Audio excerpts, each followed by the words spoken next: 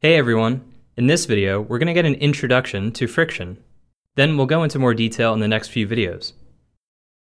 So, what is friction?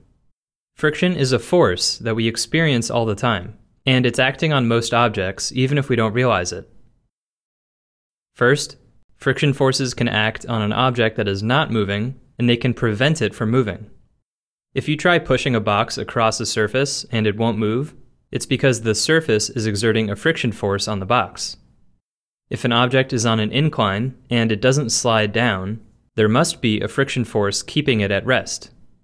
And if you lean an object against a surface, there might be multiple friction forces preventing it from falling. Friction forces can also act on a moving object and cause it to slow down and stop moving.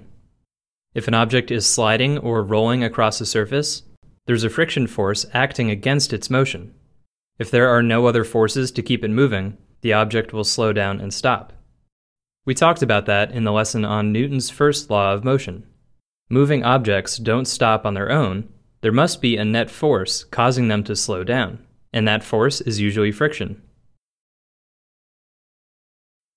So, what is a friction force? Two objects, or surfaces, can exert a friction force on each other when they are in contact, and we represent a friction force with lowercase f. So let's say there's a box sitting on the ground, and you try to pull the box to the right.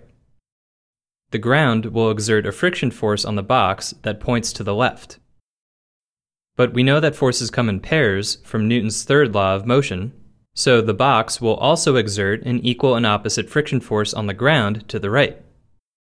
We're usually only focused on the forces that are acting on one object, like the box, so let's just focus on the friction force acting on the box. A friction force acts where two objects or surfaces are in contact. So this friction force acts on the bottom of the box, where it's in contact with the ground.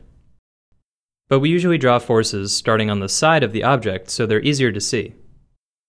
One important thing to remember is that a friction force acts parallel to the surface in the direction that prevents or opposes motion. So this friction force is parallel to the ground, they're both horizontal. If the box doesn't move, we would say the friction points to the left because it's preventing the box from moving. Without that friction force, the box would move to the right, so the friction force must be acting to the left. If you pull harder on the box and you get it moving, then the box's motion is to the right, so we would say the friction force points to the left because it opposes the box's motion. The friction force on the box has the opposite direction as the velocity of the box. And if you stop pulling on the box, there's still a friction force from the ground while it's moving. And it still points to the left, in the opposite direction as the velocity. So, a friction force can act on a non moving object, or a moving object, and its direction always prevents or opposes the object's motion. But what actually causes a friction force? How can the ground apply a sideways force on the box? Objects and surfaces might appear to be smooth, but if we zoom in, all surfaces have some amount of roughness. We can imagine there are a bunch of small bumps, little peaks and valleys, on the surface of each object. If you try pulling this box to the right, the bumps on the box will get stuck against the bumps on the ground. The ground exerts a bunch of small forces on the box to the left, and if we add them all together, we get the friction force on the box. The box also exerts equal and opposite forces on the ground, which add up to the friction force exerted on the ground by the box. If you pull hard enough to get the box to slide to the right, there is still a friction force on the box acting to the left as it rubs against the ground. So a friction force is caused by the microscopic roughness of each object or surface. But some surfaces are rougher than others, and the magnitude of the friction force depends on the materials and conditions of the two surfaces. So this ground might be pretty rough, but what if the box was sitting on something like ice? We're simplifying things a little, but ice is pretty smooth, and the bumps on the surface aren't as big. So there would be more friction between the box and the ground, and less friction between the box and the ice. If we slide the boxes with the same initial speed, the friction force from the ground is greater, so the box slows down sooner. The friction force from the ice is smaller, so the box travels farther before it stops. But describing surfaces as rough or smooth isn't very precise. We need a way to quantify how rough a surface is so we can calculate the friction forces. Luckily, there's something called the coefficient of friction. Each pair of surfaces has a coefficient of friction, represented with the Greek letter mu, that affects the magnitude of the friction force. Rougher surfaces have a greater coefficient of friction, and smoother surfaces have a smaller coefficient of friction. So for the box and the ground, the coefficient of friction might be 0.7, and for the box and the ice, it might be much smaller, like 0.1. The coefficient of friction is just a number, it doesn't have a unit. It's usually between 0 and 1, and a bigger number means there's more friction between the two surfaces. The last thing to mention in this video is the different types of friction. We're mostly just going to use static friction and kinetic friction, and we'll use the subscripts S and K to label each one. Static friction acts on an object when it is not sliding along a surface. So if you pull on this box to the right, but it doesn't move, then the ground must be exerting a static friction force on the box to the left.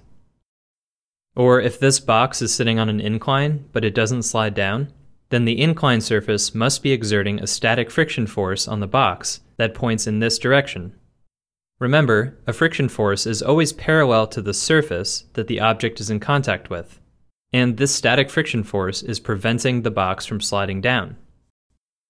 On the other hand, kinetic friction acts on an object when it is sliding along a surface. So if you get this box to slide to the right, then the ground is now exerting a kinetic friction force on the box not a static friction force. And if this box does slide down the incline, then the incline would be exerting a kinetic friction force on the box in the opposite direction as the velocity. Notice that we're specifically using the word sliding, not moving. This is important because some objects can also roll along a surface. If this wheel is rolling along the ground, like you'd expect, we call this rolling without slipping.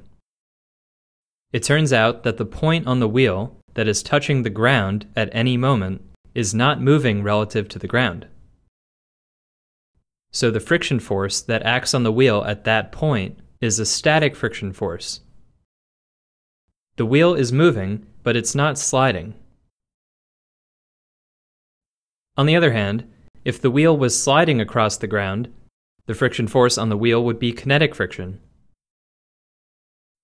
Don't worry if that's confusing, we'll cover it more in the other videos. But remember that static friction exists when the object is not sliding, and kinetic friction exists when the object is sliding, which is why kinetic friction is sometimes referred to as sliding friction.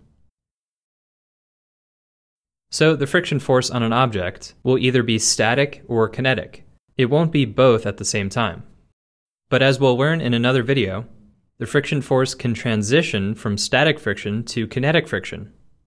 If you pull on this box but it doesn't move, the friction force is static friction. But if you pull hard enough, then the box will eventually start to move. At that moment, the friction force changes from static friction to kinetic friction. Each type of friction behaves in a slightly different way, and it turns out that there is a different coefficient of friction for each type even when the surfaces are the same.